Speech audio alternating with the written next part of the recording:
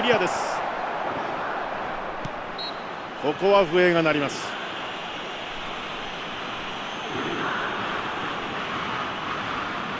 フリーキックのチャンス。どうですかね？狙ってきますかね？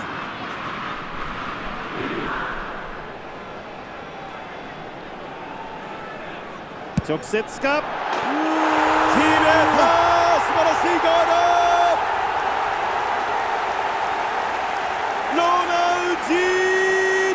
これで移籍後20ゴール。